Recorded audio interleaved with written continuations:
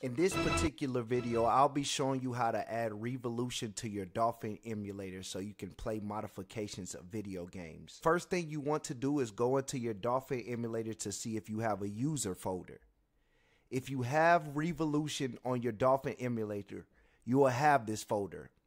If this folder isn't available, then you do not have Riivolution, and I'll show you exactly what to do to set it up. First thing you have to do is go in between two documents in this particular Dolphin folder, right click, and then go to New. Once you're at New, I want you to go to Text Document, and I want you to type in Portable. Once you click Enter, I want you to exit out of the Dolphin emulator and come back in there now should be a user folder there for you so you can see.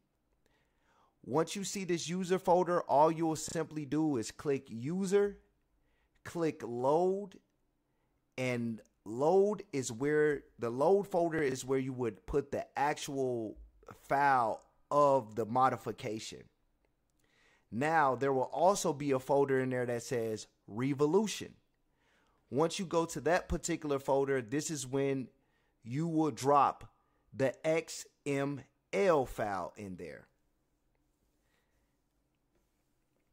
After those particular steps are done, the only thing you have to now do is go back to your Dolphin, open it up.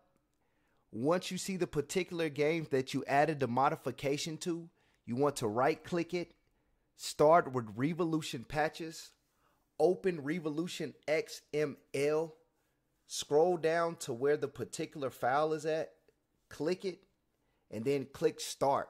Once you click start, it should open up for you.